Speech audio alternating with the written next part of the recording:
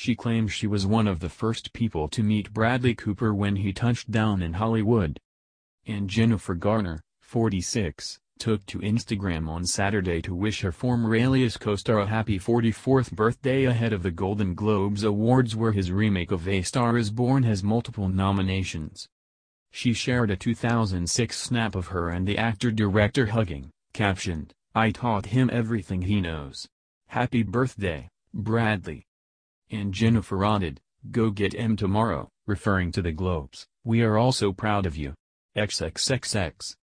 Bradley is nominated for Best Director and Best Actor in a Drama for A Star is Born, which is also up for Best Motion Picture, Drama. His leading lady, Lady Gaga, 32, is nominated for Best Actress in a Drama for her performance. Her hit Shallow, which she wrote, is nominated for Best Original Song.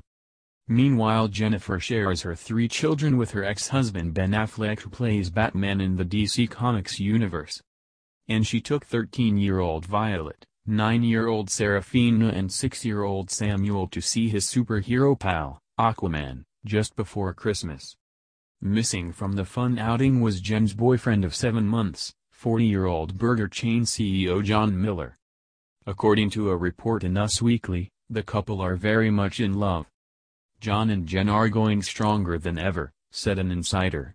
They are still spending a lot of time together. An insider told the mag the duo frequently spend the night cozying up at her house because it's easier to go unnoticed there.